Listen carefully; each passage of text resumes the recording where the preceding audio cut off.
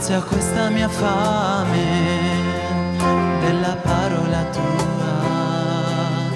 Questo pane sia il cibo che alimenti la vita, che ci unisce per sempre, che ci fa figli tuoi.